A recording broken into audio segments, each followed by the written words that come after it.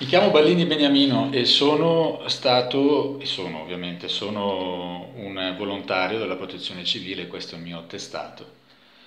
Sono stato eh, coordinatore per l'emergenza nel mio paese, ad Inzago, tra inizio marzo e metà, e metà aprile, quando mi sono prosciolto. Perché proprio perché ero coordinatore gestivo tutte quelle che potevano essere le criticità e anche le persone che... Eh, venuti a contatto con il nonno che poi è morto in ospedale per Covid,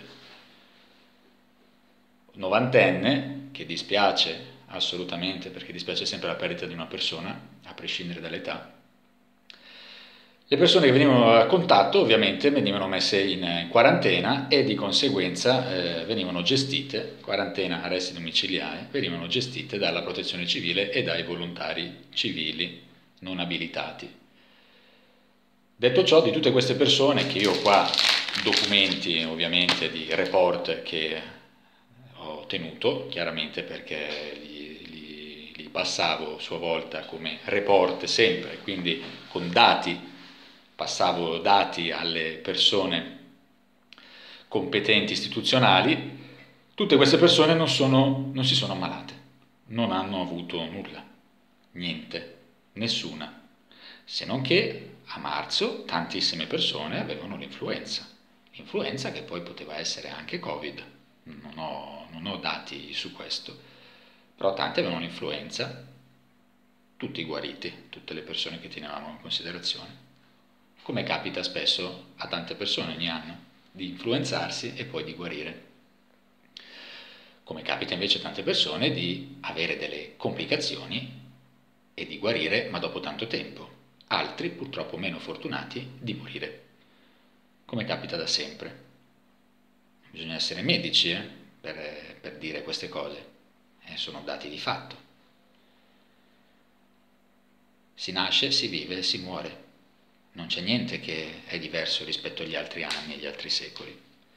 Comunque il mio video non era centrato su questo, ma vuole dare un messaggio a tutti gli enti di, eh, tra cui anche la protezione civile, tutti gli enti di eh, soccorso eh, ausiliario alle forze dell'ordine istituzionali, per dire attenzione, perché in questo momento l'unica emergenza è il terrorismo che viene dato, e lo sappiamo, i numeri che vengono falsati dallo Stato a chiunque dica che ci sono tanti ammalati, come mi è capitato di parlare con degli ambulanzieri, che dicono ah noi portiamo un sacco di ammalati. Quanti ne porti? 10, 20? Sì, ok. Dimmi tutto quello che hanno, il motivo per cui li porti, ma soprattutto quanti escono e il motivo per cui escono e le patologie che si portano a casa. Quindi mi dai dei numeri di entrata e mi dai dei numeri di uscita. Se no, cari miei ambulanzieri, non parlate. Non parlate perché se no sarete considerati come terroristi che infondono terrore alle persone che ovviamente ormai si credono tutto, si bevono tutto.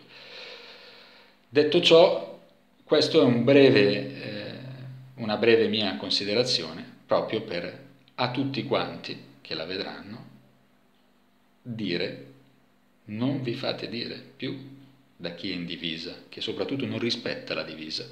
Chi la divisa che indossa la sta indossando immotivatamente e soprattutto spesso per far terrore alle persone, non per far riconoscere le persone in quella divisa come, come tranquillità, come benessere, come sicurezza, ma come terrore.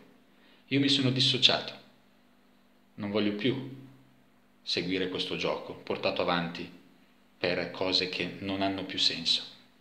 Guardatevi in giro, se non vi bastano gli occhi, provate a sentire e a guardare con la pancia, sicuramente vedrete che le cose non sono assolutamente, ma assolutamente come vogliono farci credere. Ciao a tutti. Libertà.